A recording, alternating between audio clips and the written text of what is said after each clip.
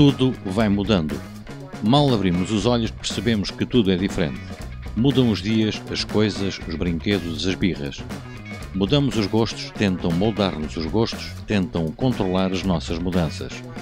Mas vamos crescendo e mudando de tamanho e de roupa. Mudamos de ídolos, de heróis, de música. Muda a roupa, a estação, os frios e os calores. Mudamos de ocupação e a televisão é trocada por músicas e danças e coisas alucinadas. Enfim, mudamos também de responsabilidades quando chega a altura de estudar. E tornamos a mudar de comida quando começam a surgir outras prioridades.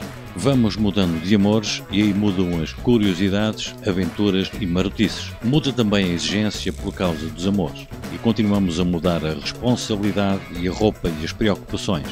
Mudamos de estudo para trabalho. Tentamos ganhar um ar sério, mais crescido, mas continuamos a gostar das marotices mudadas e de escolhas e de amores. Mas muda o tempo, muda o trabalho, muda a quantidade de trabalho e o cariz dos telefonemas. Muda o stress, a quantidade de stress, mudam as nossas formas de aguentar esse stress.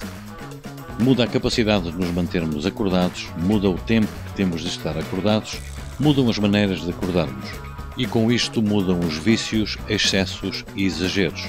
Muda a saúde também, o corpo e a quantidade de anticorpos. Mudamos de caminhos e de sapatos, mudamos todos os dias. Mas estamos sempre a mudar porque julgamos quem é diferente.